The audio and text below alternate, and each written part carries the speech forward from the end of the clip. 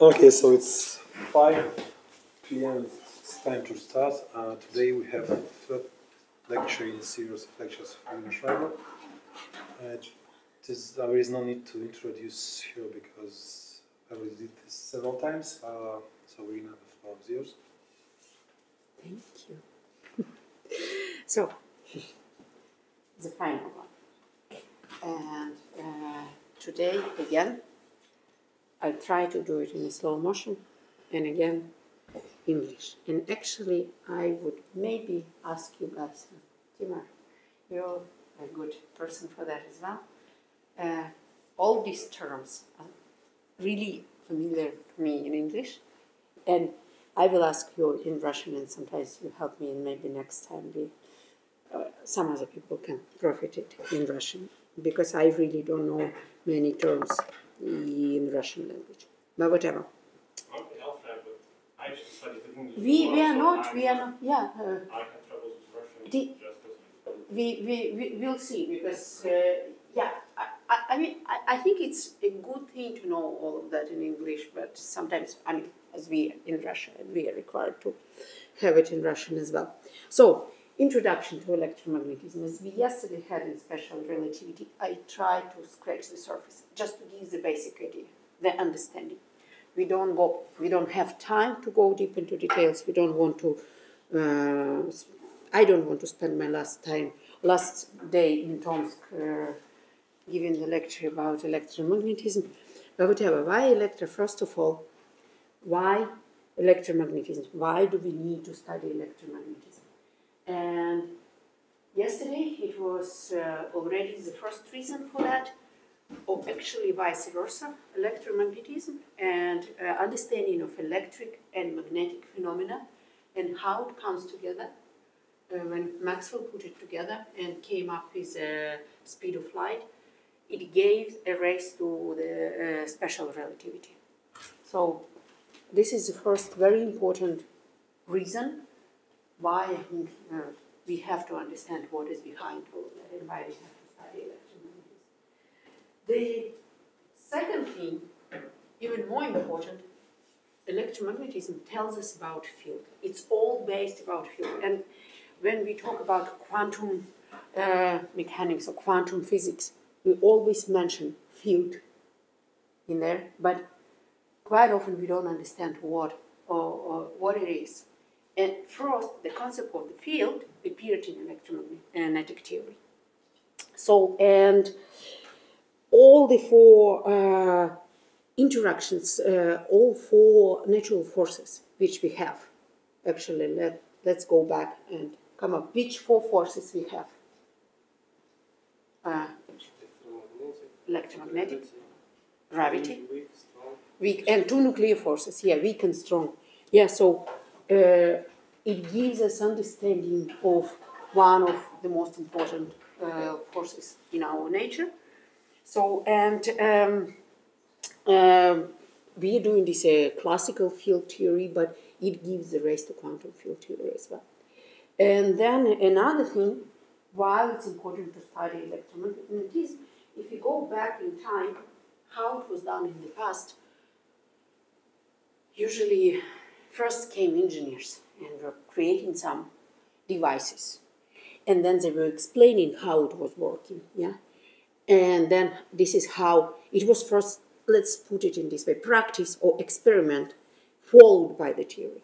When Maxwell came up with his electromagnetic equation, it was impossible to build experiment before theory. We had uh, electric uh, theory, electric uh, phenomena, and it worked all well. Magnetic worked all well as well. But as soon as you try to put it all together, it stopped working. I mean, the equations, the description, it stopped working. And it was really created in his mind this little addition to his equation with Ampere law, Ampere law. We will see that later. And it was first theory created, and then it was uh, approved by experiment. And this is how we do physics nowadays. If we take CERN, right, what we were talking about uh, before, we have theory, and then we have predictions, and then we try to prove it with experiment. This is the way we do physics nowadays. So these are three important reasons for me why do we, uh, it's important to understand mm, electromagnetism. There are more probably, but this is what uh, I like to mention.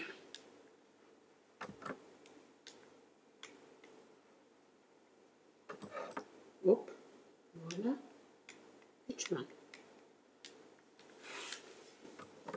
Electromagnetic first. Done. As soon as, yeah, it's always this way. Thanks.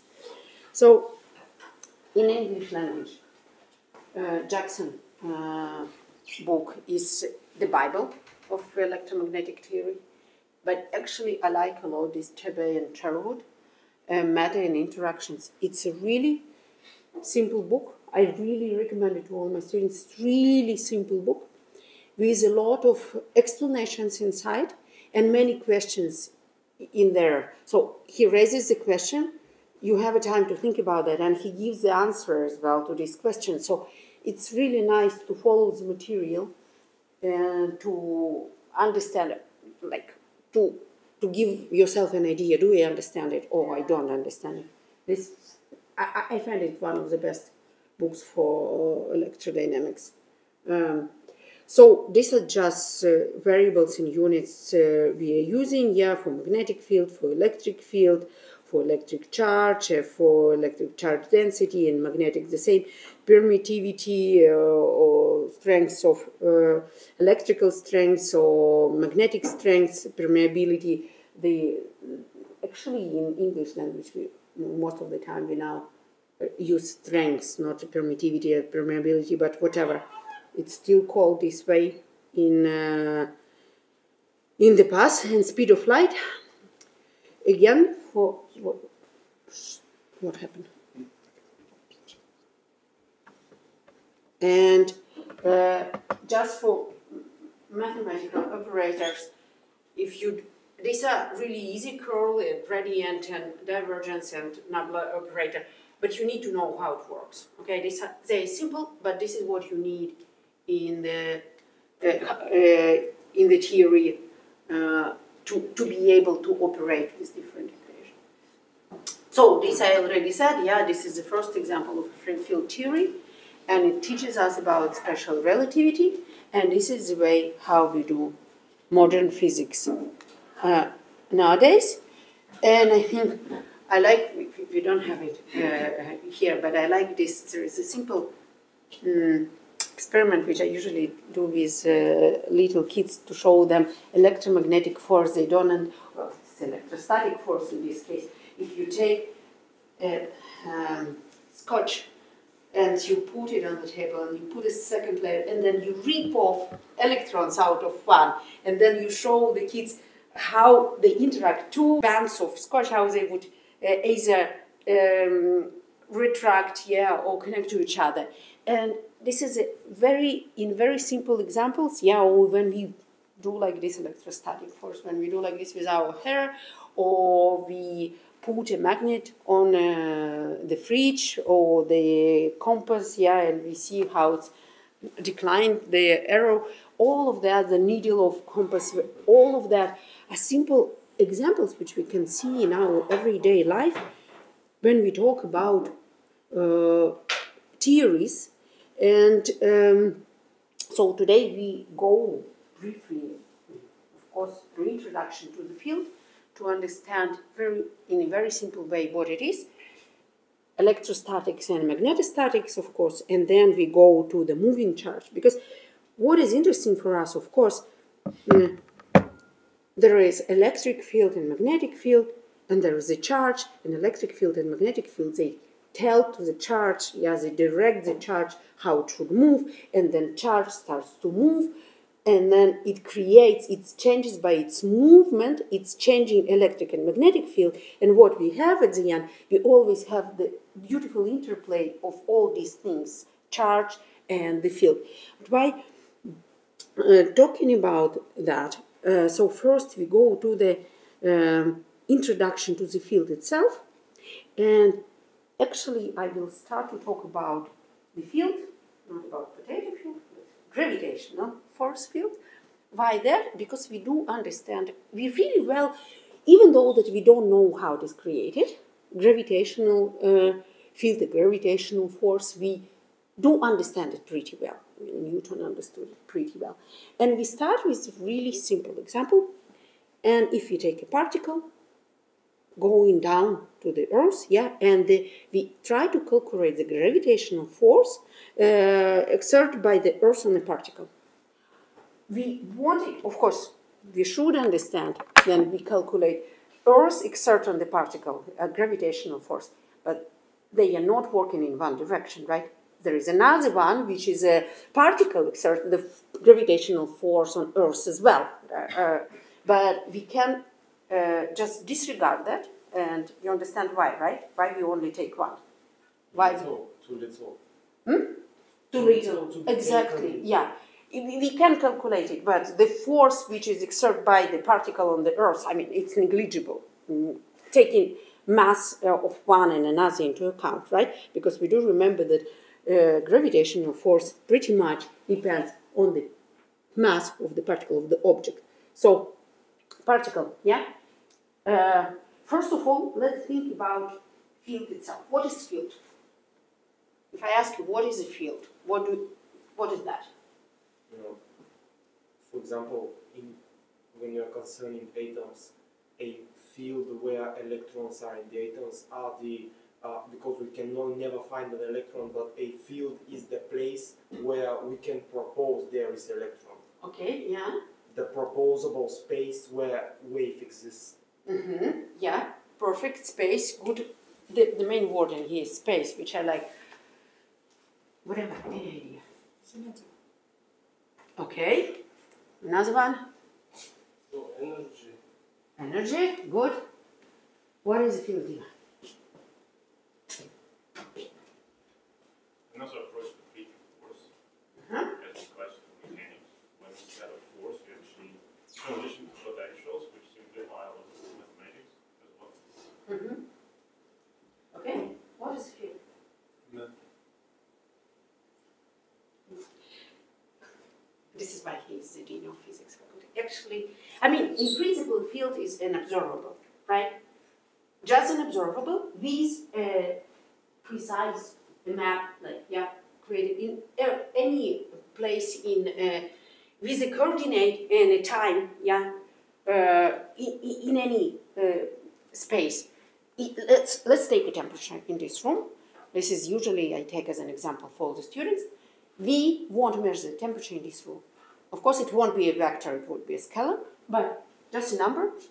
I measure it there, next to the door. I measure it here, next to me, as the heat happens, and actually I feel hot here now. we measure it next to the window, and it's all different, right? So, depending on the coordinate, it's different.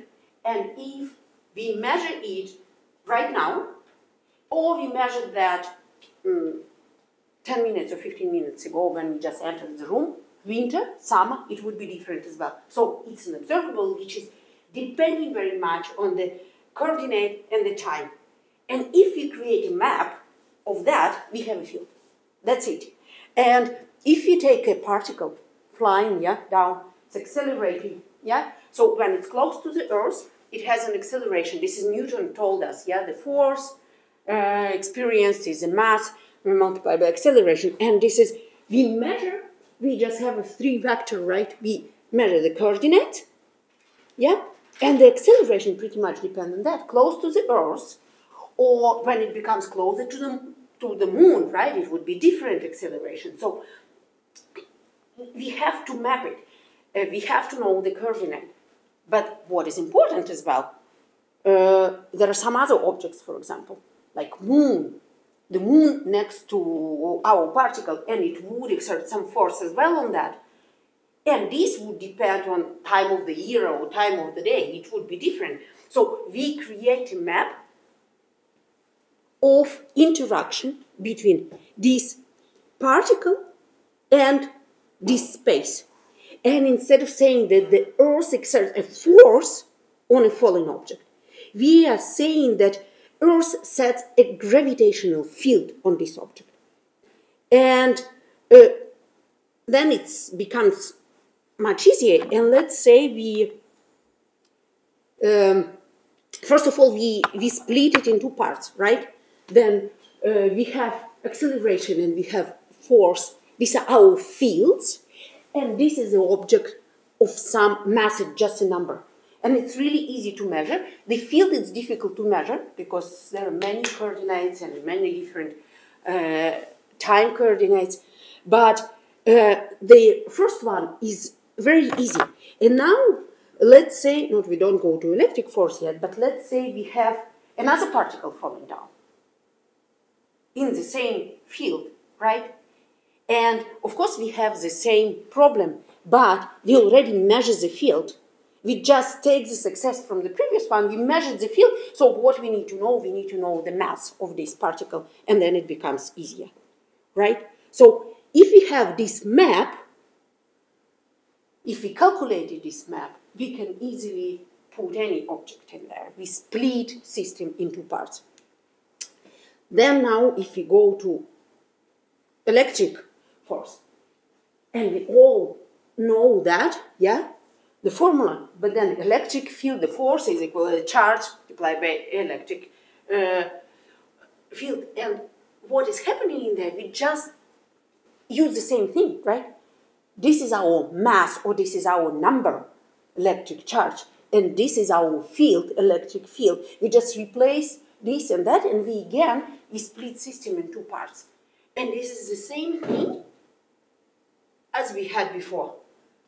And uh, we say that uh, the object experiencing this field.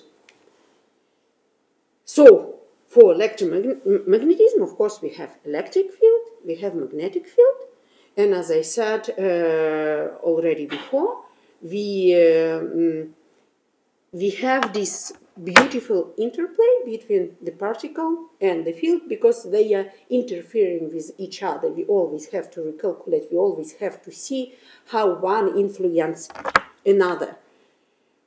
So, charge and current. Uh, actually, here we, yeah, we have to, in the uh, C units, we usually, uh, usually measure charge in coulomb but uh, the thing is, it's not uh, very convenient, especially in high energy physics. We uh, prefer to connect it to the charge of electron, and so a number of uh, we um, we say it in numbers of charge of electrons. So quarks have leptons have an integer, and quarks have one or two, one sort or two sorts. Um, then we don't want to talk about one particle, yeah, and we don't want to talk about one charge. We want to talk about many charges, especially in high energy physics.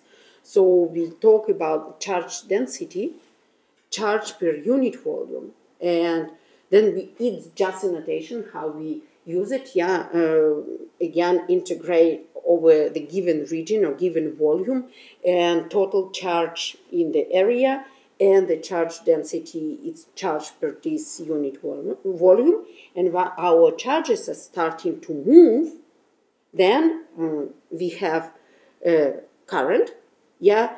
And a current i mean if we again um, in a, uh, some space uh, many moving particles create a current density.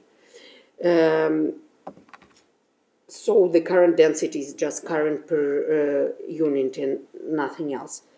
Again, the more intuitive way to talk about that, um, if we, we take a continuous charge uh, distribution in uh, some small volume, yeah, and uh, we have this is the, our small volume, and we can define our uh, charge density and current density, and we can connect them and we can define our uh, current through uh, the uh, current density again. These are just different ways to, we take a volume in here, we take our charge, we take number of charges. This is just different way to represent number of charges moving together, uh, not to take uh, not to calculate it one by one, yeah, because we don't want to sum it up, but we want to calculate it all in a given volume. Uh, blah, blah, blah. Oh, this is a good thing.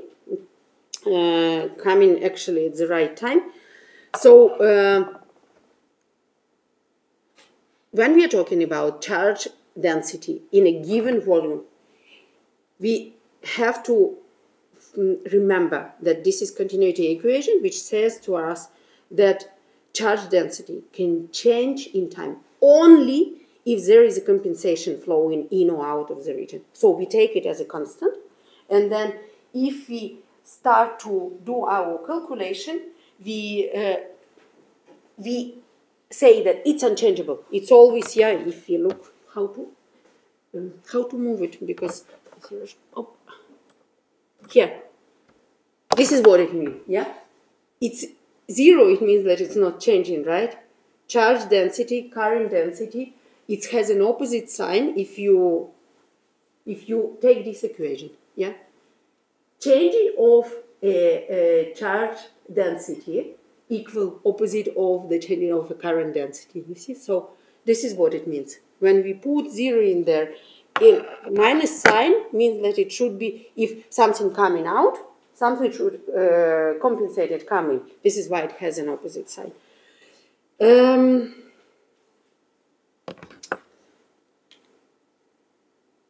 and then we come to the force, Lorentz force. Yeah, this is, you've seen it already. This is the force which is describing the movement of any particle under electric and magnetic field. The most useful, we call it Lorentz force. And if we, again, look at that, our gravitational force, right? We came from gravitational force to electric force, charge and electric field. And if you look in here, now I have to move this again, like this. So you see, I think you can be, you can quite easily see, I will, we'll see it later, but it's quite clear, right? We came from gravitational to electric force. Here it is. And this is the same thing done for a magnetic field. Okay, here we should have the velocity uh, as well. We have a particle moving in there. And uh, this is for us, um, because magnetic field created by a moving particle. But this is for us a very easy way to represent force which guides our particle inside uh, when it's in the field, yeah, to describe magnetic and electric field, to describe the force which is acting on our particle inside of these fields.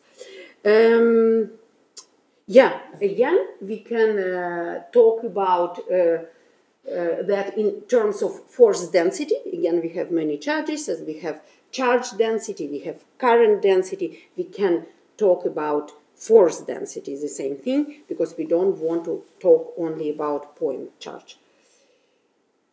And uh, the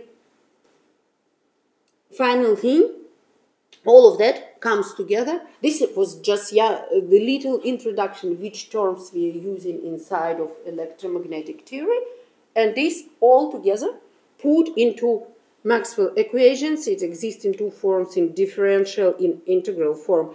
Usually you see it in this way, yeah, with all these Nabla operation, uh, operators. And uh, uh, maybe it's easier to memorize, right? If you look at that, you see electric field described, magnetic field described, yeah, um, interplay between both of them and actually, this time, uh, here, this is a little addition which Maxwell was uh, adding to the um, uh, to the Ampere law when he connected electric and magnetic field. When he understood that this is actually gives the same, and they uh, uh, they can uh, work together. This is electromagnetic field or not two independent forces in our universe. But if you look at them, they, they look quite symmetric to each other. And without this term, they were quite um, plasma as independent even uh, of each other.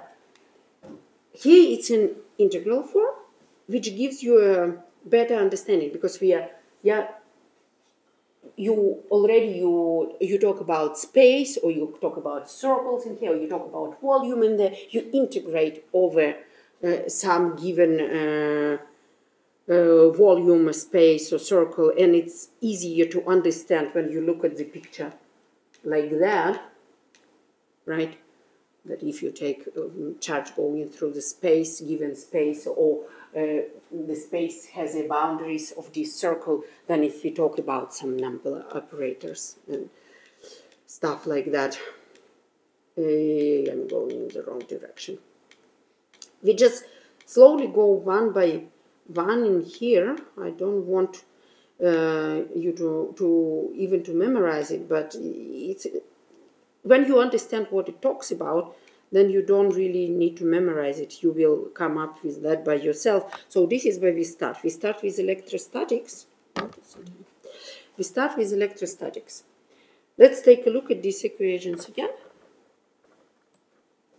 So, if we have electrostatics, we, we don't have all of them. We don't have to treat all the equations. Which will be left? Without magnets. Uh-huh. So? We, need uh, so Yeah, yeah, and there is actually, I, I, I didn't take it away from uh, the slide. It's actually like this, yeah? We are left only with two equations, and this one is the first one, which talks exclusively about electric field, and this one, the magnetic field is equal to zero. So this is what electrostatic will do for us. So, Coulomb force. Who remembers Coulomb force law? It's the inverse square law, essentially. Same as the uh, Newton gravity force law. Uh, F equals to uh, Newtonian, uh, the k, k, is uh, an arbitrary constant, and then uh, two charges multiplied over r squared. The classical. Uh, Absolutely, absolutely, yeah. And uh, so this is a, um, mm, Coulomb force, which um most of us deal, dealt with, I'm sure. And you know that this is in the school. I think we we learn all of that. And uh, yeah, like charges uh, repel and like charges attract, and the force uh, between these two point charges is like that. It's, Gleb, was it you? Yeah, yeah, yeah. yeah. Uh, if you have two charges, then uh, we have yeah a constant, and it's inverse proportional to the distance uh, square of distance between them, and this is the charge of these particles. Uh, so we see actually if you look on the constants for electrostatic and it uh, depends on the uh, permittivity uh, is in vacuum if it's a zero or it's uh, of the material but it doesn't even matter it's just some constant and then if we take a Gauss law you see in an integral form. Yeah, this is what we had written in integral form uh, from Maxwell equations. And uh, take a particle of uh, charge q, and radius of this particle is r, and this is a particle, and this is a um, Gaussian sphere of radius r uh, small, and we want to electric field be in this sphere, so it should be around the particle. It should not be smaller than the particle itself. And then we start to transform our Gauss equation. Uh, actually, yeah, uh, as we have an equal angular distribution, we take only we have to consider symmetry in here. So we have to see that the field is equally symmetrically distributed. And then when we do that in we we just come up with that I, you can follow the calculation in here but this is quite easy mathematical equation which i uh, we don't want to you can try to repeat that but it's basically written in there and what you come up with at the end, if you calculate the electric force coming out of Gaussian, uh, uh, uh, Gauss law, slow, yeah, you will come up, the electric force is exactly that, and then uh, electric field, and then you calculate the force. You multiply. You remember, force is electric field multiplied by the charge, and this is what you see. Q one, yeah. This is if you put a charge inside there. Q two. This is a constant, and this is inverse of the radius. Uh, natural you, uh, R unit will become uh, one. Yeah, this is just a transform. mm, But this, yeah, this is a unit uh, uh, vector, and this is all. So you see, we have, we, we see here this. We were calculating from Gauss law. We were calculating our electrical field or electrical force, and we come up that the force is very familiar to Coulomb force. So it's basically the same thing. You don't need to go any further. And Coulomb force, an interaction between two particles uh, over a certain distance, we know quite well, we understand quite well. So mm, again, what we were talking at the very beginning, yeah, uh, electric field is nothing but just a map which interacts, which uh, interacts with our particle put inside of this map, and we have to know the conditions of this interaction. Uh, okay. Imagine now we have uh, two interaction particles. Yeah, we have a particle one, Q1, which we put at the very uh, at some point, and let's say it's glued with a super glue to this place. It cannot move, and we take a particle mm, two, the charge two, and we move this particle away. Yeah, and if they are alike, yeah, uh, the, then uh, they should repel. And but if we try to, yeah, we uh, it's it starts going and it's uh, accelerating. It's gain kinetic energy, and then it's losing potential energy. This is just a normal way it's going. So it's reaching some way, and we take that at the very end, some way in the infinity, the potential energy would be zero. So if we then try to bring this particle back to, to the first one, this one is fixed and this one we need to bring back. What do we do? We have to put some work into that. Yeah, we start from potential equals zero and we try to, as, as it repels, it will take some work to bring it back. So you bring it back, you calculate the work which is needed to bring it back, and this is will be actually your potential energy yeah the calculation to to take it from the infinity to bring it back to there. And this is how you calculate your, pot- uh, your potential energy will be equal to work you have to put on this chart. And uh, again mm, the calculation is uh, quite simple mathematically. I'm saying quite simple and i start to to keep my myself for that. I, I try to write it down in this way, usually on the slides. Is it understandable for for you? Yeah? Because these are quite easy integration, I think, but usually I have yeah, you're still uh, yeah, is it is it okay with you this this way how it is written in there? Do you understand the integration? Not always. Most of that? If you give me two minutes, I can explain, but in 10 seconds, I cannot. If you give me two minutes, I can. Yeah, go ahead. We have two minutes. We're here for that. In my homeland, uh, educational system is very similar to Britain. Mhm. After 10th grade, you choose profiles, and then I first went for mathematics and informatics. Mhm. But because of problems with teachers, then I went to another school, and then I went to chemistry and biology, but never wanted to become a doctor. All, all my, how to say, all my teenage years, I wanted to work with computers, physics, mathematics. It's just my thing. But uh, uh, we learned great things about physics in our chemistry classes there.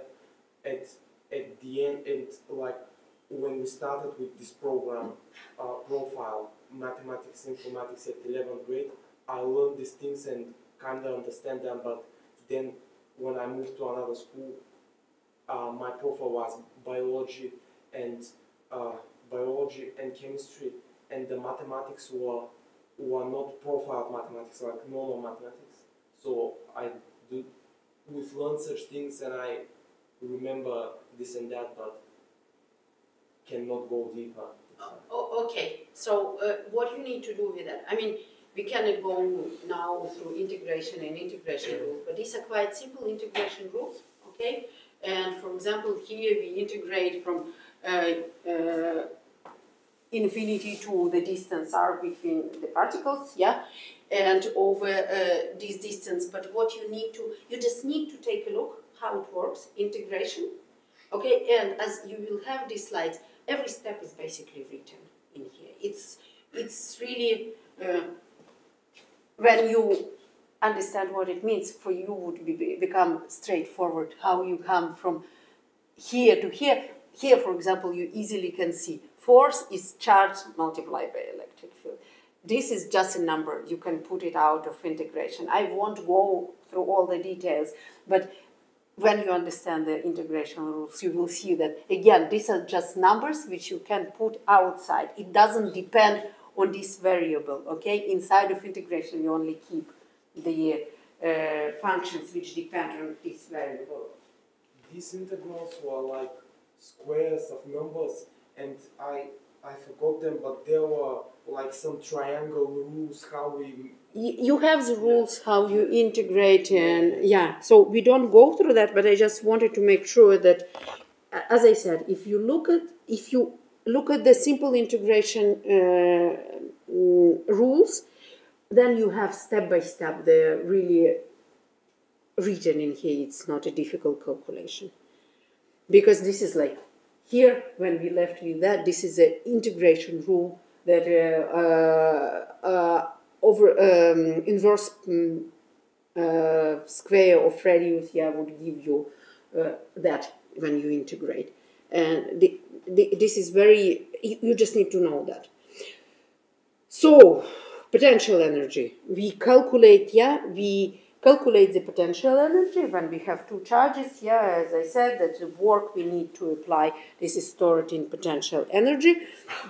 And we know, yeah, the total energy is kinetic and potential energy. First, it was moving away. Kinetic energy was going up. Potential energy was going down. It's uh, it's zero at the very end. Potential energy, but when we have to bring it back, the work to bring it back is uh, stored in potential energy.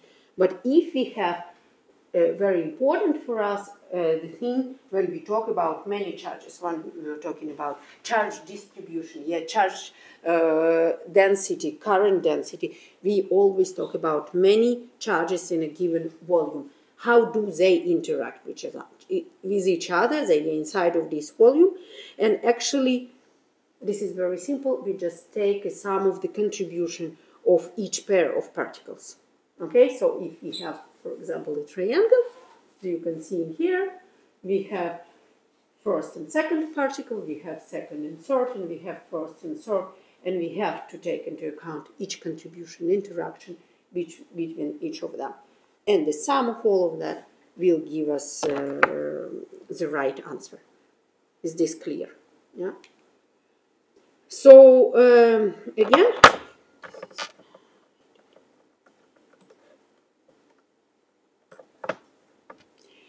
Uh, we are talking about potential and we can talk about electric potential as well. The electric potential uh, energy mm, per charge unit is an electric potential. Uh, and uh, actually, if we can take and combine two Maxwell equations, which we were talking about at the very beginning, yeah, we can come with what is called in uh, physics a Poisson equation, and we can rewrite it in the terms of uh, electric potential. And yeah, uh, so then you see we can uh, put all of that. If we don't have any uh, charge density, then we can transform Poisson equation uh, we can put it into zero and we transform Poisson equation in a Laplace equation and we can just write in a simple harmonic function and when we work with wave equations we always have to deal with harmonic functions.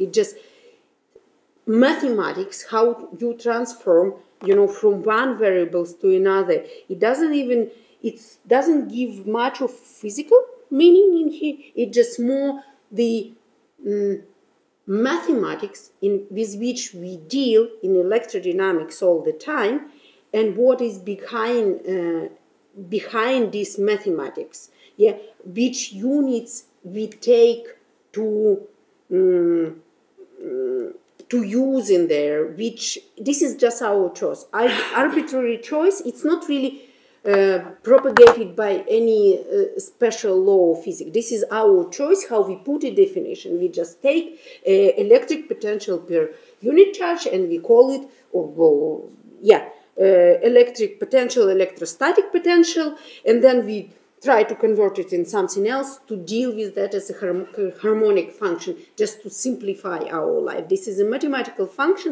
Why it's important for electrical uh, uh, electric potential uh, in this particular case? Because quite a lot we use in quantum mechanics, we use magnetic potential. Um, it's a difficult story why we need again it's a mathematical description why it is used in quantum mechanics, but nevertheless, we use formulated magnetic potential. And as we have magnetic potential, we have to bring electrical, uh, electrical uh, potential.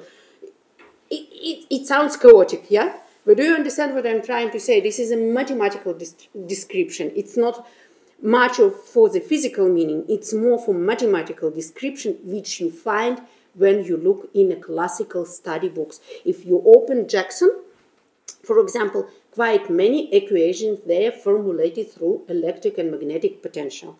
You, you just uh, you try to explain why we get to yeah zero? exactly. Yes. No no no. Why we get to number equal zero? This is clear. This is if we, you don't have any uh, mm, charge uh, density then it's equal zero. This is just conversion from one equation to another. What i mean in here it's just how you come from one stage to another. This is just a mathematical formulation. Nothing else. Okay in how we come to harmonic function in when we have a number square and all of that. This is how we come to Laplacian. This is just mathematical No, functions which are used in quantum mechanics. Okay. Uh, yeah, this we already talked about about principle of superposition. So we have to. Uh, it's the same for. Um, my God, as we as we said that for electric uh, potential energy, we can say the same for electric field. It would be the same uh, sum of individual electric fields. So it applies for any uh, anything in electromagnetic theory. The same would be for magnetic stuff. And when we talk about continuous distribution of charge, we are talking about charge equally distributed along some space. I mean, or line.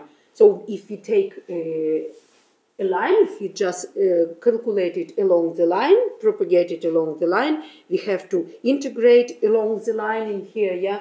And uh, if we calculate it uh, on this for the surface, or we calculate it in the volume, we always assuming that it's symmetrically distributed, equally distributed among all the parts of this volume. Okay, so this is what we uh, mean when we talk about continuous distribution of the charge.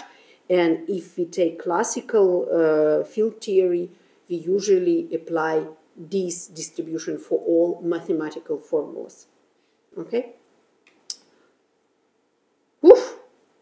We can have a drink because we came to magnetostatics now. So, uh, uh, again, the same when I go to magnetostatics, what I'm trying to explain in, in, uh, in that, um, the not the the whole thing which uh, exists in there, but mostly uh, mathematical formulation which is used uh, inside of all classical books which you apply when you do the calculation when we talk about electromagnetism yeah or electro uh, uh, or movement of charged particle in the field. And what is used inside of formulas applied inside of our calculations at CERN as well. Uh, so how you uh, I try to show you how from this mathematical apparatus, quite sometimes nasty, which doesn't mean anything, you come back, or actually we are coming from this direction, how you come to uh, to the simple things, yeah, the charge, the surface, the field, Coulomb uh, force. This is the, the only thing I am trying to show by that. So let's now tell which laws we will use in this case, and then we have a little pause. Magnetostatics. First we had electrostatics, right? And we use these two. So what would be here? Well, you obviously probably won't need the first one because you, it doesn't deal with magnetic forces at all. So you will need uh, the uh, second one. Uh, the third, the third one will probably remain, and in the last one you will cut out uh, the uh, charge, uh, charged part essentially. Mm-hmm. Actually, we Yeah. take away, we take the way we have a static field. We take away the third one right from from Okay. us. The third one, yeah, we take away as well because we are talking. Uh, here, you see what this means. Yeah, it means that magnetic field changing in time, right? And we are talking about the static one, and this is why it would be taken away as well, Gleb. Is it clear? Yeah. Yeah, good. So, right, we stay with the second one and we stay with a partial of the fourth one. So, uh, a little pause. Or any questions?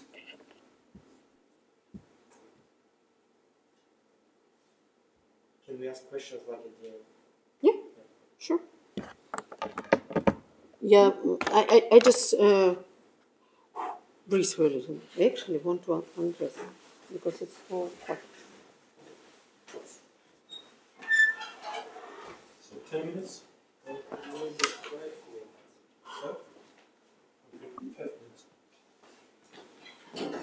We want to finish as soon as possible. Ну, успей, быстро. Еще час, и я вас отпущу. It's also kind of funny talking about the fact that those potentials they uh, kind of don't make sense physically right now, but when it comes to actually quantum field theory, they start to make sense because uh, you Exactly. introduce them for a reason. Yeah, yeah, There. yeah. Gle- Gleb, this is the thing that they start to make sense because we are talking about classical field theory, yeah, and they mostly need for us in a quantum field theory, especially the magnetic one, okay?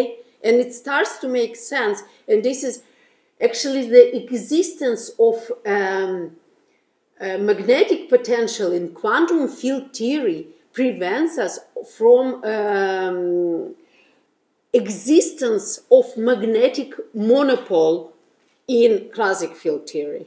Do you understand what I'm talking about? Yeah, Exactly. I know about this funny thing. and it's come of course i mean there is a physical law always behind but we need a mathematical description and what is uh, happening quite nasty thing which happens in my opinion that we use a lot of mathematical description and we don't even know where it comes from yeah and why we are using it there and when it doesn't have a proper physical meaning you don't understand why it is there. You just play with uh, operators, yeah? Curl, divergence, what it means for you, right? Uh, where it comes from. You just calculate and calculate, but you have to understand that it exists for some reason in there. I mean, there's also Aharonov-Bohm effect where essentially, even though the Boole fields are zero, the potential still affects the charge. it's mostly a quantum quantum mechanical effect, so that's why you also need them. Mm-hmm. So the first thing, talking about magnetic magnetostatics and magnetic field, uh, just let's go back for a moment to Lorentz force.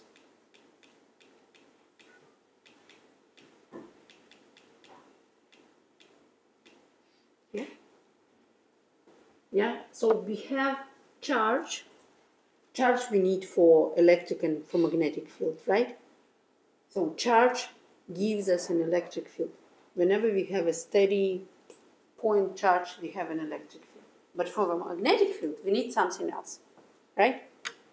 What? What is this something else? It's written in the the V is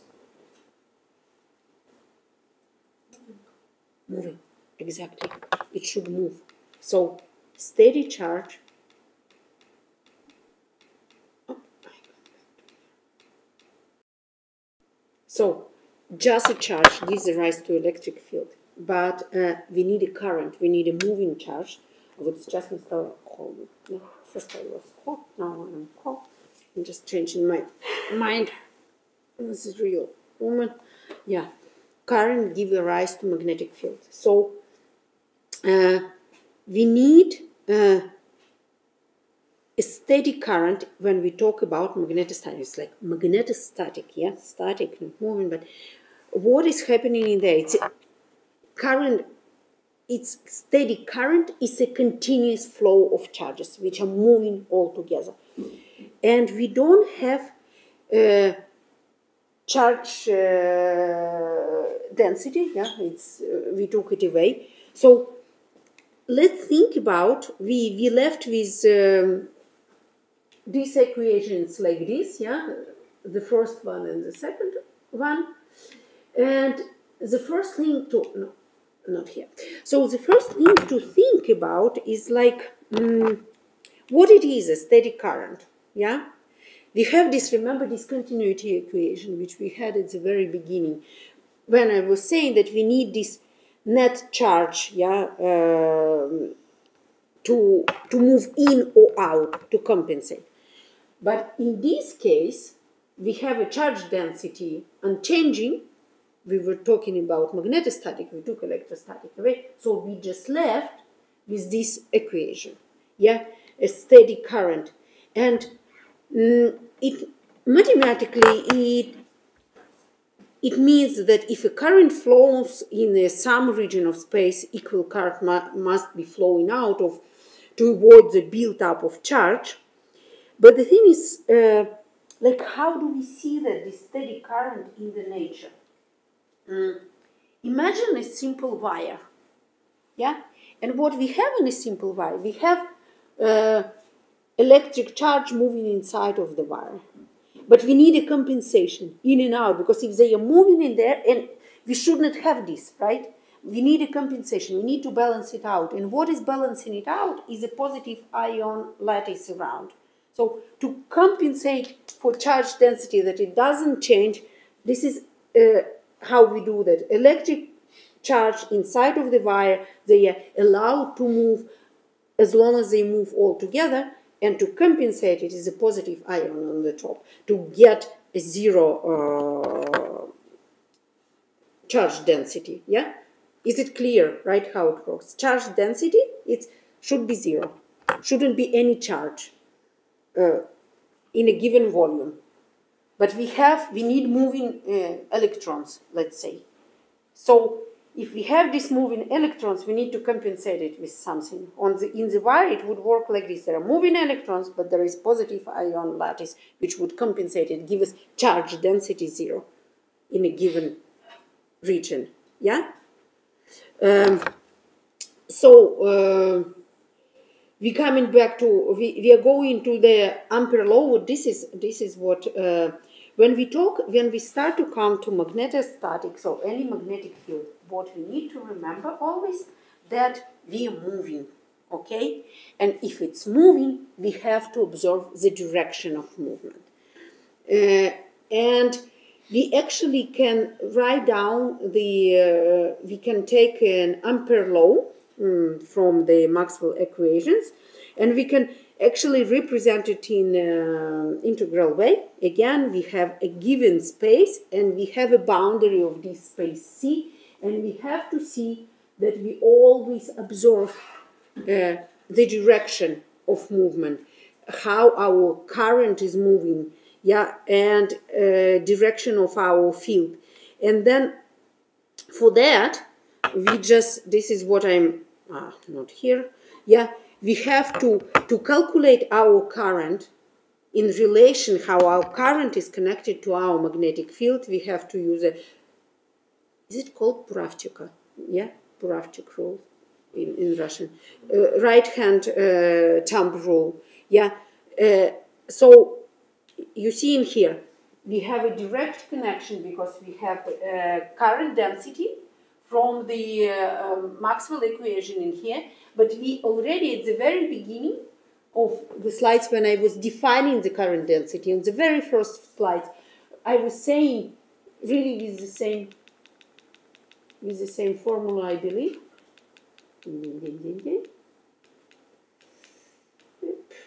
Here you are. You see, we defined it like this. We defined current as an integral over yeah, current density over given space.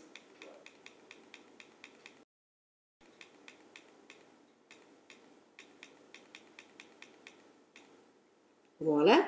So then we have uh, magnetic field on one side and the current on the other side. Uh, and what we have to remember when we calculate, when we do the calculation, we have to uh, take the direction into account using right hand thumb rule. Um, we won't stop too much uh, on that right now, but what is the primary usage of uh, Ampere's law is calculating um, magnetic field for different electric current. Normally, when we use some, when what we use in our accelerator, in our electrons, we know the current and we need to calculate the magnetic field which is created. And this is actually what Ampere law gives us. It's not enough for complex calculation. We need to uh, do have some extensions as a primary calculation. You have the direct relation between the current electric current and magnetic field. There are just some um, formulas which you can uh, use when you calculate it for different devices. So here again we had electric potential and we have vector potential in magnetostatics. And this is again, this is just to guarantee the mathematical calculation. We have to define uh, to guarantee a solution to this equation, we can write as a curl of some vector field, and we call this vector field vector potential. Again, this is a mathematical representation for magnetic field, which is quite a lot what we discussed with Gleb already, which is quite a lot used in quantum uh, uh, field theory and quantum mechanics. You need it, but it's just a mathematical apparatus which you're using in there. What is interesting to look at that and what we um, discuss as well, in principle, if you look on the comparison, yeah, electric and magnetic field, but if you uh, look on the equation in this way, uh, this one, you see, there is an electric charge, charge density on top in there, meaning there is an electric charge. But in here we have zero, which means that there is no magnetic monopole uh, exists. So Maxwell equation tells us that there is no magnetic monopole exists. Um, there were some theoretical discussions about that how mathematically you can represent it, how you can rewrite it. The biggest, again, what for me sounds funny, that the biggest stop over for existence of magnetic monopole is the fact that we this is a mathematical representation um, vector potential is a mathematical representation and vector potential can be only defined if there is no uh, magnetic monopole if there is zero in this equation so we can get rid of magnetic oh vector potential. Say let's define it uh, mathematically some other way. Let's define some magnetic charge, but then we lose vector potential, mathematical description, mathematical representation, and then I say okay, we live with that in electrodynamics in classical one, but then we come to quantum one. We use it a lot in a, it's quite a lot represented and we cannot get rid of that that easily. So mm, it's a bit a weird conclusion yeah a bit a weird discussion but this is just to, for you to keep it in mind that many things in here as well a mathematical representation which was defined this way. Yeah it's like when we're talking about speed of light how we calculate it right? We define it in this way. We define meters in this way. We define uh, vector potential in this way. Uh, another thing which is important in uh, um, mm, in magnetostatics is like we talk about in electrostatics we talk about uh, Coulomb law yeah? And uh, some representation in Coulomb law in electrostatics. And what I was saying all the time that Maxwell was combining electricity and magnetism all together and he uh, found the way to put it together. And actually he found and i will show that a little bit later that he found that uh, speed of light comes out the same in uh, uh, from electromagnetic field. And then we need to have the same representation of magnetic field. We kind of put an uh, analogy yeah we uh, the same way. We have electric potential we have magnetic potential. Yeah vector potential in magnetic field. We have Coulomb law in uh, in Gauss law in um, electrostatics, we have to have the same thing in magnetostatics, just to show how it uh, comes out the same. And so in um, actually uh, it was uh, these were two French scientists which discovered that, and they were just taking a compass and putting yeah some um, wire and they or putting it into some magnetic field. they could see that uh, there is a, there is a current created if you pull the compass in magnetic field, and the needle would uh, go in different direction. And they said that you cal- can calculate it. So basically, if you look at that, yeah, uh, you have again uh, the distance, uh, the square of distance over proportional to magnetic field is over proportional to square of distance, and then you have this is uh, the current in here yeah in some uh, lengths so mm, uh, in some wire but this is just a field yeah if we apply um, if we calculate the force we have uh, in addition the charge yeah remember force would be charge multiplied yeah by uh, Mm, velocity, uh, product of velocity and magnetic field. So this is what you see. This is a current, moving charge. Velocity multiplied by charge will be again a moving charge, right? It will be two times current divided by uh, square of distance. Yeah, is it clear? Can you see that? Mm. So then, yeah, this is a just uh, if we have only let's say if we have only uh, electric field yeah and we see that uh, electric uh, force is always in direction of the field. But magnetic field as we have a moving particle yeah uh, then it will be not that it will be in circles again. And this again is the lorentz force uh, charge, electric field, moving particle, magnetic field, and if we um, have the magnetic field, then uh, the force is perpendicular to the velocity and to the field itself. And this is again, this is my favorite picture, which I show all the time, the right uh, hand thumb rule. And you can easily, yeah, uh, think about Berlusconi when you try to find this one will be your magnetic field, the force and the velocity of the particle. Um, because remember, we always have to think about the direction. Um, yeah, the uh, induction law. What I want to, I want to go much into details in here. The only thing which I want to mention in Faraday's law uh, of induction, um, there is a very interesting thing. Think about that, right? What I was saying at the beginning as well. We have a charge. Uh, we have an electric field and magnetic field. Yeah, if we put charge into magnetic field, right, uh, and we have uh, current created in there. So there is one current, and we can calculate this. Uh, if you know current, Ampere's law, we can calculate the magnetic field. But the charge starts to move, it will calculate again a magnetic field, and there will be one magnetic field which we had already where we put our charge, but the charge, moving charge itself, will create another magnetic field, which is will be in the other opposite direction if you take a look at this picture and if you start to apply the right hand um, rules and if you put it along here, yeah, uh, depending how you put your hand, you see you put it along the magnetic field, you have the current, but when you put it along the current, you will have an opposite magnetic field created in opposite direction. And this is a secondary effect, and this is induced magnetic field, which is created to actually to keep our nature alive?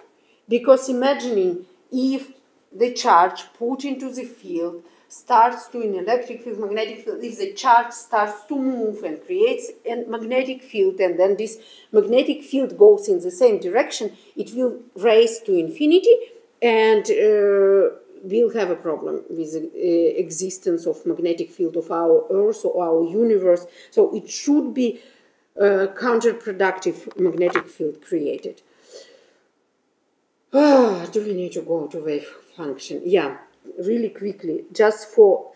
Uh, I won't go too far in all of that so we don't get um, tired and bored and uh, swamped in all these equations. The only thing I want to mention if we take the static case of electric and magnetic field, yeah, all Maxwell equations and we uh, try to solve them, uh, we can write the wave equation. And actually out of this we have, you see, all the time we had magnetic and electric uh, strengths of the field, of strengths of electric field, strengths of magnetic field, what we call mu zero and uh, epsilon zero, and these numbers, these constants were really well calculated, and doesn't matter either you solve wave equation for electric field or you solve wave equation for magnetic field, you come up with the solution for the speed of light would be the same. You come up with these numbers always uh, either from one or another and you will have the speed of light always the same. Doesn't matter which field, uh, field induce it. And this was uh, uh, quite an amazing discovery of Maxwell when he started to do this equation and started to solve wave equations in a different way. And he came up with this phenomena that speed of light is unchangeable. Uh, I just wonder, this is more, let me think about that. This is a, a um, yeah, okay. Uh, the only thing which I want to maybe stop in here um, is that quite often, yeah, uh, when we when we start to deal with, we, we won't get a description of wave equation. We don't touch it today. We can go home earlier. But if we talk about wave equations and electric and magnetic field, we have to deal with different um, quantities and we define through uh, different quantities. We usually don't use um, wavelengths. We usually use a wave number uh, in our calculations, especially in high energy physics and accelerator physics. We don't talk about wavelengths, we talk about wave number. Why we are doing that? Because this is more um, convenient for us. This is defined through wavelengths as well as you can see, yeah, through frequency or through wavelengths. But this is more convenient uh, way to use for the calculations of the property of different um, of different uh, RF cavities or waveguides.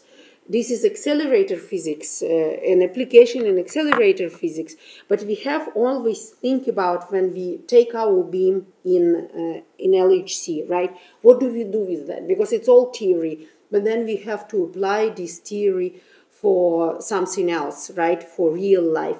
And we either want to store our field in some place, in some box, or we want to propagate our beam um, through our um, uh, pathway.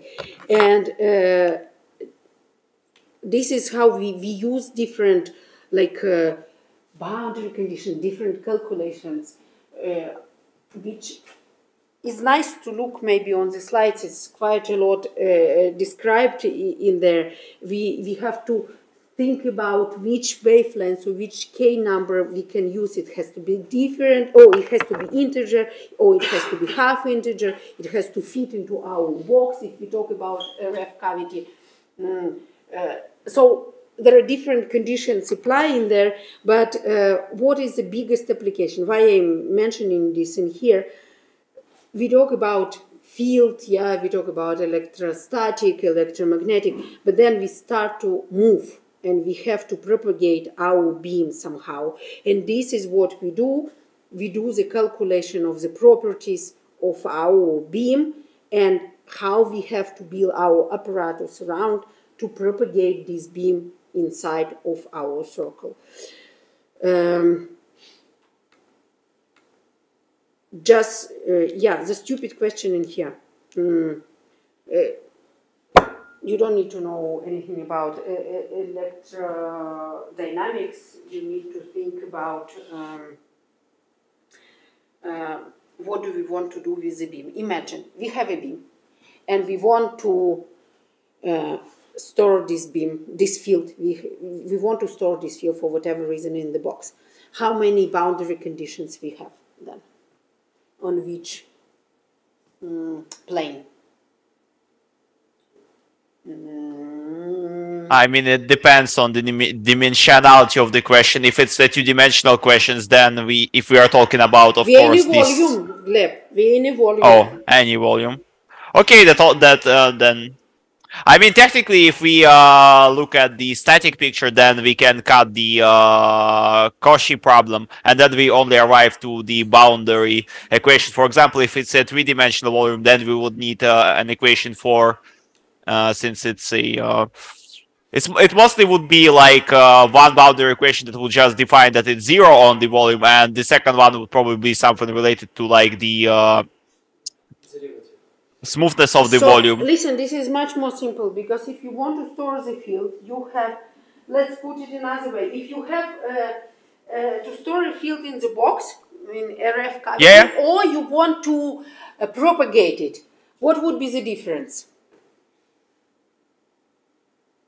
I mean, if you want to store it in a cavity, you would want uh, the field to be zero on the surface of the cavity and outside of it. Absolutely, exactly. So it means uh, That's why you make longitudinal uh, components to be zero, while the tangential ones are not zero. Because, as I've said, you need one that would define essentially smoothness, and the smoothness is mostly defined by a tangential field uh, on the surface. And then the ones that are essentially meant to represent how fields go outside, you just zero them out.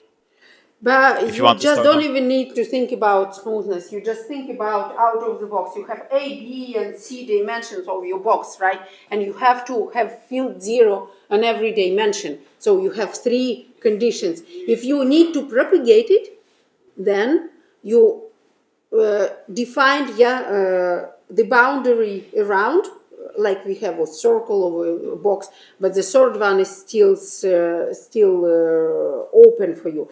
Another thing which actually uh, need to be mentioned when you calculate the wave function uh, the only thing which comes out in here um, the they have to be all um, this wave number vector, yeah, which is related to uh, wavelengths, yeah, to our wave, and our electric field and our magnetic field amplitude, yeah, E0 and B0, this is amplitude.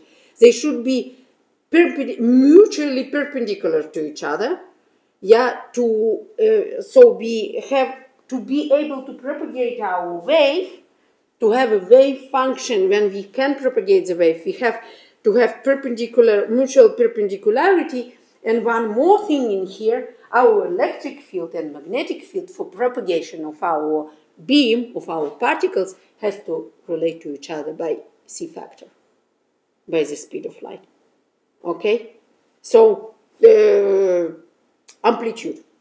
Yeah, I'm not talking about uh, total, but the amplitude. Otherwise, we have a problem with the propagation. This is about. Uh, I'm just looking at you, and I'm uh, um, thinking about how do we define. There are many things which has to be defined and thought about when we are talking about moving electromagnetic wave.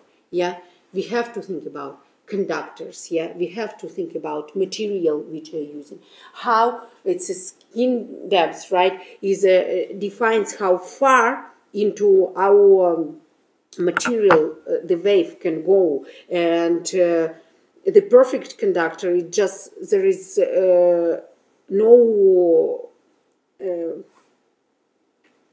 no boundaries yeah? The time to recovery is basically goes to infinity it absorbs all of that.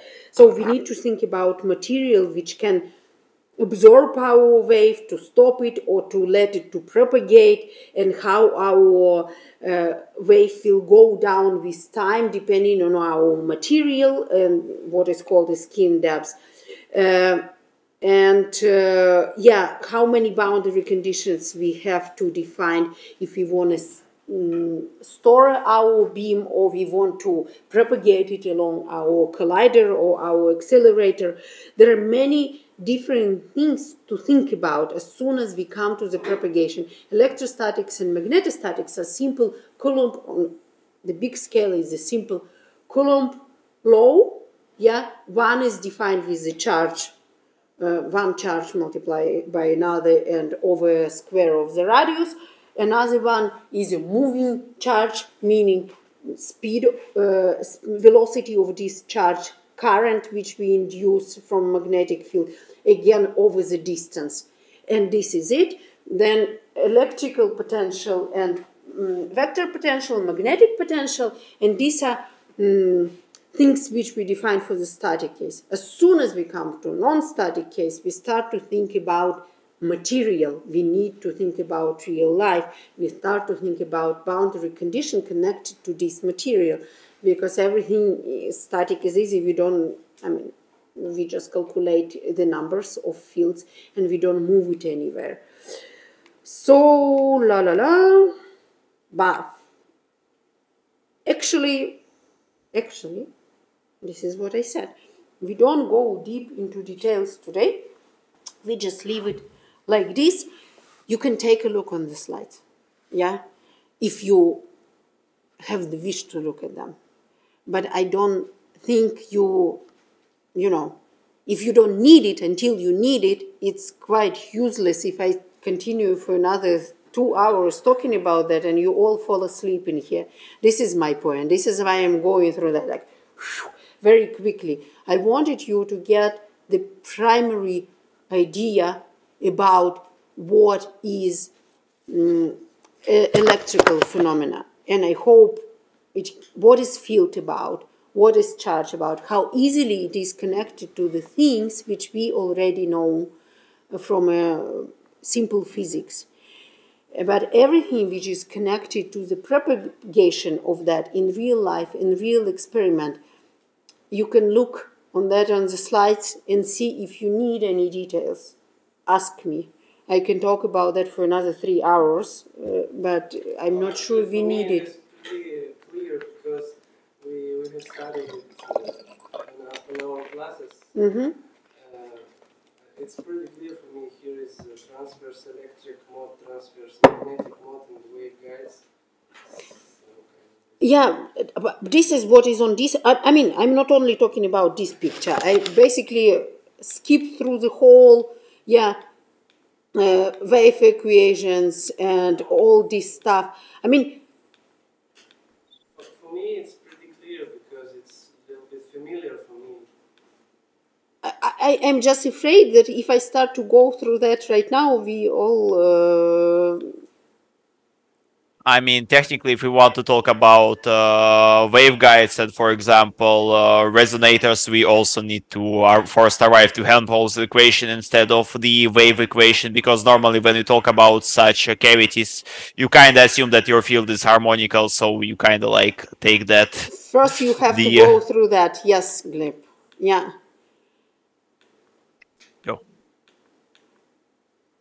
So I mean, we technically also skipped the topic of uh, gauge gauges, like uh, Coulomb gauge, or like, for Uh, example, listen, Coulomb gauge. gauge. If we if we start to talk about uh, uh, Coulomb gauge, or we start for yeah uh, for uh, electric field, and we start to talk about Dirac gauge for magnetic field, through which we can define basically magnetic charge.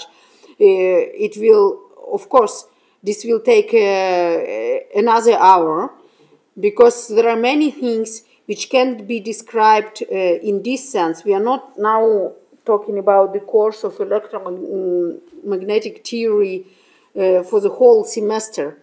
I just wanted to uh, have it in English, the main definitions. I wanted to show that we have it all very easily connected and everything deeper we can, especially us, our group, we can always go further, uh, especially through Zoom, Gleb, when I'm coming to Tomsk. we can do it every day. yeah? Should we? I'm just looking at you and yeah, I know you love me, but you had enough of me as well over this week. This is what I feel. I just don't want to mm, to uh, to leave Tomsk. It's like, my God, if she comes another time, we start to study electrodynamics again. Yeah. But whenever you have, if you we want to discuss it further, we can go through that. I really wanted us to to scratch the ground and see. Uh, what it is about. In the slides, you can have all of that, and you can ask, write to me, and ask any questions that you need. Um, Yeah. My, my question is not, no, it's connected to that, but it's slightly off the topic. Mm-hmm. Uh, it's concerning, uh, I would say, what I, what I learned on my own and then what I read in my student books. I, I learned that uh, every particle that we in books uh, see as particle can behave as a wave. For example, Mhm. in, in Bulgarian, this person called uh, Röntgen uh, used to, I think, used to bump protons, and these protons yielded uh, an Photons, I think. It was electrons or photons experiment. You're talking about observer's effect. and when- Röntgen velocity. Ah. Re- Röntgen velocity. It's like bef- Ah, okay. before, Yeah, then yes. Then okay. And then the protons and. uh, and he had the solution that every particle behave, every particle can behave as a wave under certain conditions. I think it started before, much before that, and we started with uh, Young still, another scientist. And this is a effect you're talking. It's um, uh, uh, when the particle can behave as a particle, as an object, as a like what we were discussing as a fixed particle, or as a wave. And this is as well why we count in description uh, in uh, in electromagnetism, we count to description of particle behaviors through the wave function because we take particle not only as an object, we take it as a wave as well.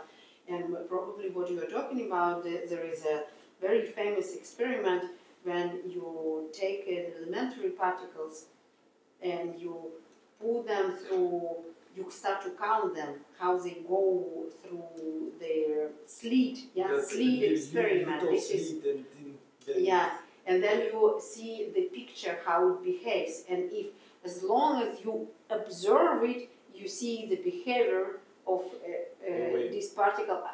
As soon as you start to watch it, it behaves as a particle. But if you mm, kind of yeah, you you but it can have a, um, double behavior, and sometimes you see that one particle yeah, can go through two slits as well because it creates an interference picture on their photo mm, paper. This is what you're talking no, about. no. Uh, this was like what I said was introduction of my question, Mhm. and then uh, I'll go back to school material right now.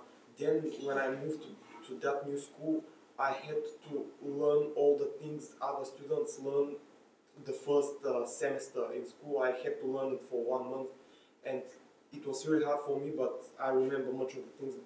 Uh, there were such things I forgot most of the details, but one S, two P, uh, the the electron scales of a uh, atom, electron scales of an atom. When a photon hits an electron, it can go to another scale, but it should be a precise wave. Not every photon that hits an electron can make it go higher, and higher. And uh, if we cannot, we learn that we can never find an electron because it behaves as a wave. If we can never find it, how a photon hits it? That was my question. If if there is a law that we can never find an electron because the more you search for it, the more probability you you never find it. How can a photon hit an electron if we can never find it? If it cannot be seen, to go into higher uh, higher energy state. But you observe, wait, uh, I'm a bit uh, lost, maybe I, I, I don't, uh, you observe the effect, but what do you mean you cannot? No, like there is a core and there Yes, are of course, and there is a, on, on each orbit you have an electron and then you heat it and it goes from one orbit to another. yeah, but Mm-hmm. What I remember is that it should be a strict wave. A strict wave to go yeah. from one orbit to another. You cannot, yeah, of course, to move it, you, you have to have a certain condition to that you allow electron to move from one uh, orbit to another to the next level. Yes. Yeah, and we learned that there was a law that you never can find an electron because the more you search for an electron, the more probability you never find it. So if we can never find an electron, how can a photon hit it so it goes? So you colleagues, I don't understand what we are. Окей. Ваня, а почему, э, ну, э, неправильно понимаю, ну, why you say that uh, you cannot find What the, kind of? the it's not electron? low. I mean, this is what we cannot. What we observe only the probability. But this is, of course, but this is, yeah, you, you have a probability. The more you define one, the less you define another one. But what it has to do with the law, which law?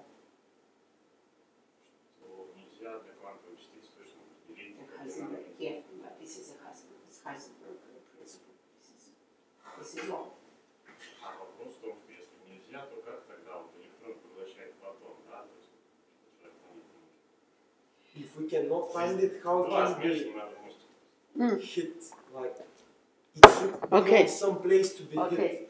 Listen, yeah, this is we go to the principles of quantum uh, physics. Yeah, in a, uh, if we talk about objects, right? Like we define our coordinates. Yeah, we uh, have a, a strict um, knowledge about whatever speed and uh, uh, location but in quantum physics, yeah, you don't define um, you you don't define the uh, exact coordinates. You define everything with the probabilities. This is a Heisenberg principle, and you, and as soon as you, the thing is in there, as uh, soon as you know more about one, you the probability the probability together should should be equal one, right? As soon as you go up to you know more about one, you know less about another one, right? But it doesn't mean that you know nothing about another one, right? You just the probability you can find an electron in this place can be higher or lower, but it doesn't mean that you don't know anything about that. It's not deterministic. It just defines the probability uh, of your knowledge. Okay, it just the principle of quantum uh, quantum physics that you don't work anymore with uh, uh, concrete numbers. You work with probabilities. What is the probability? I find this electron on this orbit, or what is the probability that it will with this, mm, uh, yeah, uh, Be situated here. yeah, Mm, I think it starts with orbit starts with one S and I forgot the number, but there are mm, orbit numbers one S then I just wait. When it was the physicist of the day, uh, covered this, uh, let me just take a look at that if there was something. No, Uh, da- da. what you're saying that uh, when uh, when photon catches the electron on the low level, then he, then he gets a higher level. The result of this is also probability. It's not uh, precisely uh, known. it's not precisely calculated. It's always Everything what you calculate in there, it's always calculated through probability. I'm trying to find, I've seen just recently a nice picture explaining this The phenomena. answer is actually quite easy. So, uh, what you're talking about is uh, that uh, it's about the probability of finding an electron, and if we can find it, it doesn't imply that it doesn't exist. That's it. So, if I go home in like half an hour, I will know that you do exist, right? But I will not know where exactly you are. Is that correct? But I can guess. I can guess that you are on Earth. Very high probability then a slightly slower probability that you're in Russia because you maybe will go direct to the airport and leave, right? Then there is a high probability that you are in Tokyo. Okay? Uh, but still, I'm not sure where you are. Uh, so, as an observer, uh, the probability of me guessing where you are exactly actually is lower and lower if we allow you to be anywhere. And then it doesn't imply that if I don't know where you are, a car can hit you on the street. Because you do exist, and for you, so imagine you are the electron, so you know exactly where you are in this picture. yeah. I know. Don't add uh, the car hitting, it makes a, adds additional uh, dimension in there, and then you get. Should I've seen it today? This nice picture this, describing this probability. Ah, and I will find it. I will send it to you. Send me a message, and I will send. I, I, there was a nice picture describing this in a very simple manner how the probability, um, how do you calculate the probability, what is Dino is trying to explain in an example on you and how you calculate it for, for the particle. I will find this picture that maybe it will help you. Yeah? Okay, Thank just you. send me a message. thank you for the answer. But I, I, I, I feel that you don't get. Uh, it, it's a thing about quantum physics as well. Oh, actually, wait, this is on my bookshelf. This I would recommend to you. Let me open that. La la la. Where is my bookshelf?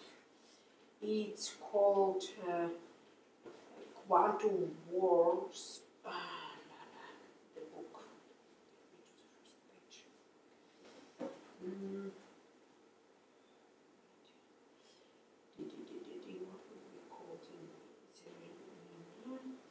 it's a Sean Carroll, the author. Um, it was-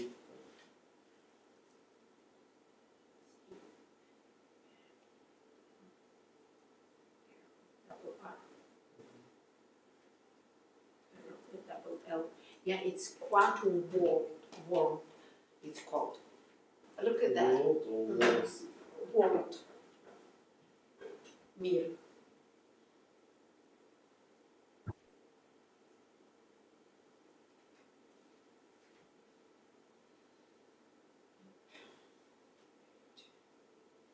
I mean, the whole uncertainty principle and the probabilistic interpretation of quantum mechanics mostly ties up to the fact that we both use groups there, and we also connect uh, quantities that are mostly have the uncertainty relationship between them through Fourier transform, which kind of turns down to Pontryagin duality between those groups and kind of like forms it like with the whole uh, commutator part essentially like they should not uh, if they don't commute then you can calculate that they will have a certain uncertainty uh, principle for them It's essentially applies uh, the same for uh, the normal statistical physics, where you could also have uh, two quantities connected by Fourier transform, and they will also have uncertainty principle tied to them. It's quite difficult to digest sometimes the idea, you know, honestly. We, Dima, I think he gives classes probably on that uh, as well from time to time, and you just get used to the idea that it is like this. This is a, you define the probability, it is like this, so. Uh, but first, I think to, to come up, to, to understand the idea of that it's not measured, that you cannot say, like, um, 1844 uh, dislocation, finished everything, that you, you don't uh, determine everything uh, in, in quantum physics. We, whatever, when we are talking about that, um, we are not talking about exact numbers for that. Yeah, we are really talking about probabilities. If we define, even when we find a new particle and we have, we say that we have the discovery. It is a certain probability that it displays the certain particle with these conditions, which represents uh, the particle described by the theory exists. Okay, there is nothing deterministic. Okay? So we observe an object. If you read scientific papers, we observe the objects which with the probability blah blah blah blah blah. Uh, uh, repeats the properties of whatever black holes or Higgs particles described by the standard model or, or whatever. So it's always like this. We don't deal with the certainty in there. You always, of course, even when we talk about we calculate the signal and we calculate the background, right? What I was showing to you, it's still you you you have numbers, right? But nevertheless, these numbers well have a certain probability. Let's say correct. When I was telling about the errors, yeah, and uh, what is the probability that our results are true, yeah, and we usually when we talk about, for example, discovering high energy physics, the probability that our results are correct are quite high, very close to hundred percent, but it's not that. It's anyway, it's not absolute. And, Look at this book. I think this will give you some new ideas. and, and maybe that's why maybe you use machine learning to to to delete mistakes by the cell systems. It's not only that. I think this is more for complex um, calculations because if you think about this, how um, many parameters, how many physical um, effects we have to deal, and objects, yeah, and how much data we have to transform that it starts to become very complex to take everything into account. This is why it's machine learning is used. Mm. Because it's not anymore a calculation of one uh, particle movement.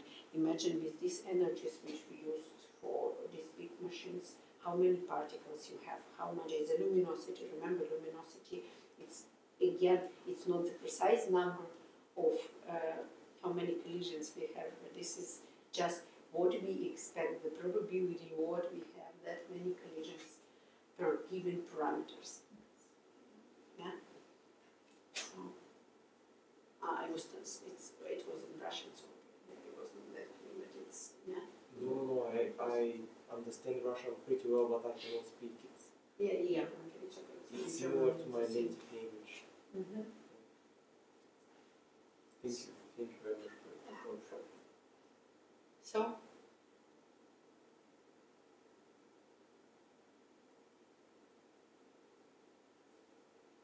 party time.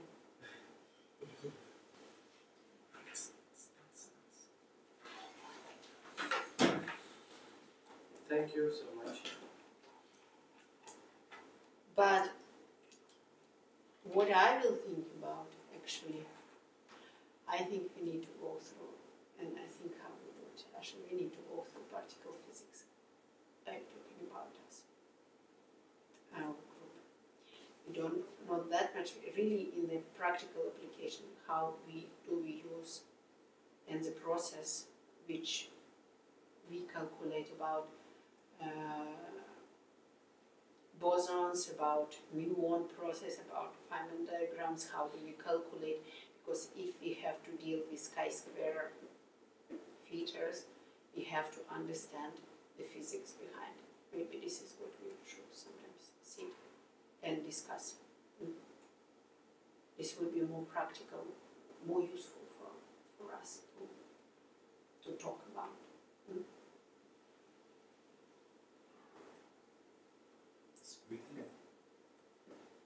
Yes, but if Sergei said something different, I would be very surprised. I always happy when someone to take more responsibility in my job. So, uh, thank you very much This this a pleasure. And thank you for coming We can once again. We can switch to Russian. But first, we have to thank you.